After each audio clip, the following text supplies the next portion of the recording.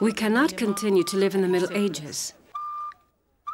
The era of feudalism has passed. There are improvements such as trucks, phone, or electric light that are basic for development.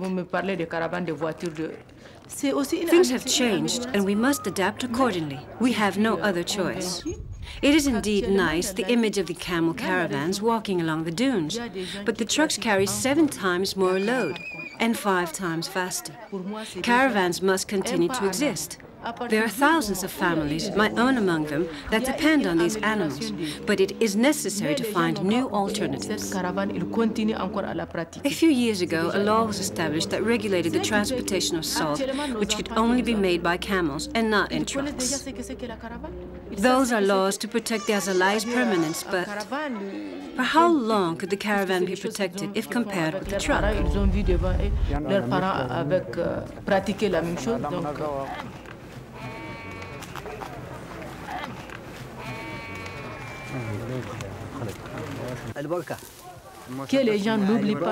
The elder must work together with the young people to find these new alternatives.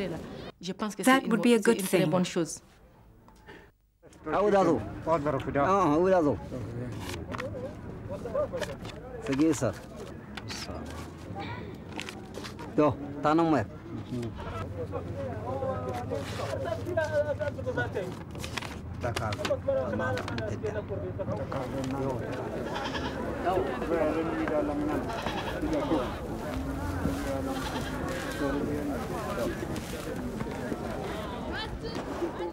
I have lived in Agadez for two years with my uncle Kane, my mother's eldest brother. Due to war problems, the Timia school was closed, and so it was decided that I would live with my uncle and my aunt. My uncle Kane is a blacksmith. He left the village many years ago and came to town to earn his living. He rarely returns to the village.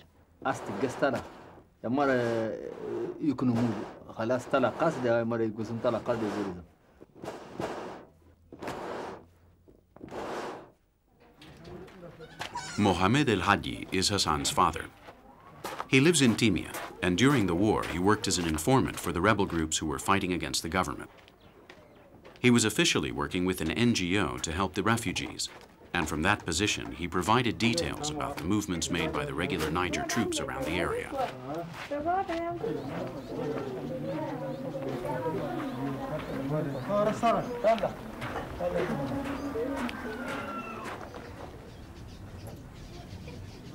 His family has always worked on the Azalai, and this year, for the first time in a long time, he will see his caravan depart in a quiet atmosphere.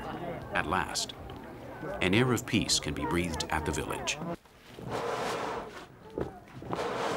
Long ago, handicraft work was not made directly by the Tuaregs, but by slaves who stayed at stable camps. The blacksmiths, although more highly esteemed, were part of this group. A nobleman would never marry a craftswoman. All these habits have changed with time, and nowadays, the relationships among the races are more flexible, and also marriages with members of other ethnic groups are more common. Silver crosses are the most highly prized jewelry among all the work made by the Tuareg craftsmen. There is a different cross design for each city. Timbuktu and Agadez have theirs, and also Timia. It's used for protection and also as a currency of exchange. In the drought season, these are exchanged for camels, cloth, or food.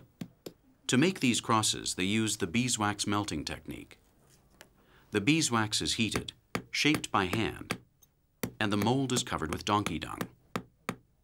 Once the wax is melted, they pour molten silver in it. At the end of this process is when you will verify the good skills of the craftsman in the detail of the drawings that complete the cross.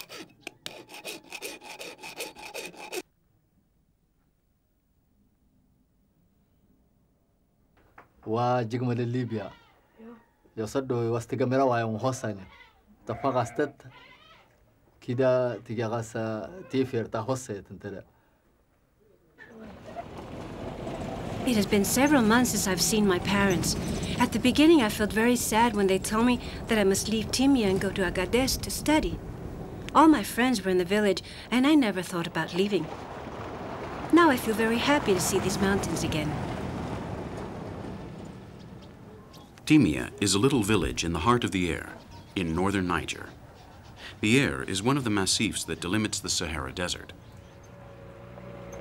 Since time immemorial, and during the last few years of the most recent rebellion, this steep territory has served as refuge for the Tuareg tribes. Timia is, above all, the starting point for the salt caravans that go in and out of the Aïr Mountains. There are two routes, one in the north, departing from Timia, and another one in the plains, departing from Agadez. Both meet in the Tenere Wells, and then follow the same route to the salt mines.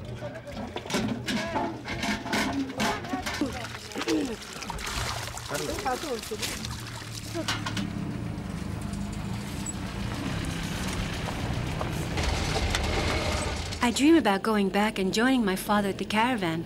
When I lived in the village, I remembered that by then everybody was excited about the preparations for the trip. For weeks, everybody did nothing but talk about the caravan, the stages, about places where water could be found, and also about the fear of being attacked by the army soldiers. A great celebration was organized before departure. Now I'm coming back to enjoy all that for the first time. Furthermore, there's Ibrahim. Now he's my family in Agadez. He will also go this year with the caravan for the first time. I've not seen him for two days, and I already miss him. If we're lucky, our caravans will join at the wells of Tenere.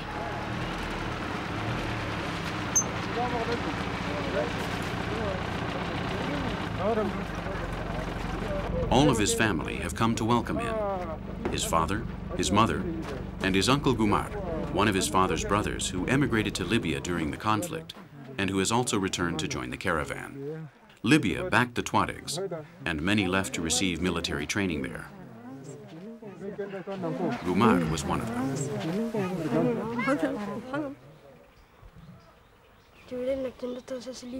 انت دك جفم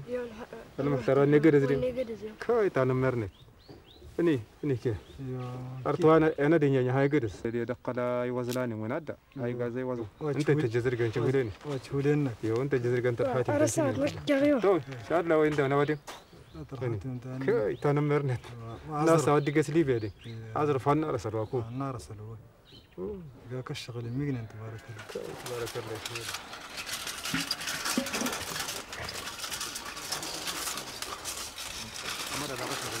The rebellion was not for nothing. It occurred due to specific reasons. People had no rights. I do not think Tamashek could become an independent country, but indeed I expect it could be possible for our people to regularly enter the public offices jobs. Now, for instance, the Mayoress of Agadez is a Tamashek. At those places where rebellion was hard, you could find some Tamashek leading people. My idea is to stay here and work in agriculture. I will try to get some piece of land, to dig a well and live off that. Now that we're at peace, I think this land will improve in some years.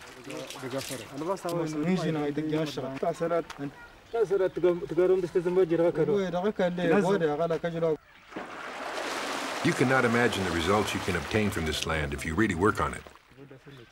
We're in the middle of the desert, of the mountain, and in spite of that, we get corn, oranges, and onions. We are self-sufficient, and our next objective is to get the road improved, to be able to transport the surplus to Agadez Market.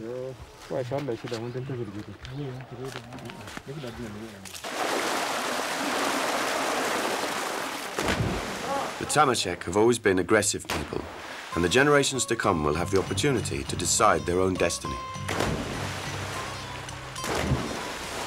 What really counts is peace.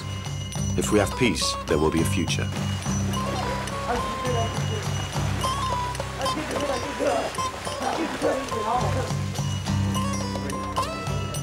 In Agadez, Ibrahim and his father have already started the preparations for the imminent departure of the caravan. The market is the point where the journey begins and ends. There, the people show the shipment of salt they bring on their return.